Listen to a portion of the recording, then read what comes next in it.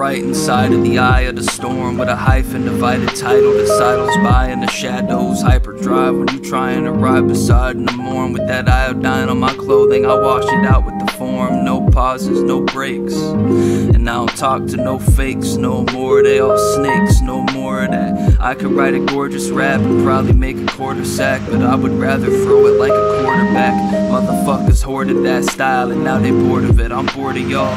I wish half these cats in my tapestry acted more involved. I wish they'd address me as majesty when I toured them all. I wish all the haters that messaged me could afford it all. It's kinda sad.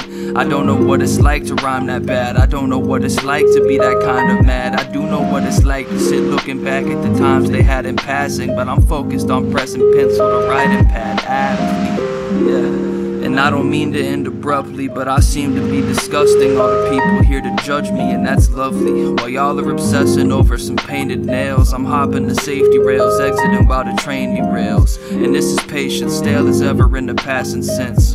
Frail as ever, such a fragile wimp to battle with. Yeah. And I don't mean to be a masochist, but after all the shit y'all put me through, I'm kinda glad you did. I don't really care for these days. The world these days. I got too many homies out here seeing early graves. Seeing early graves, and everything is dull in the world. Such a boring gray. Such a boring gray. I got too many homies out here seeing early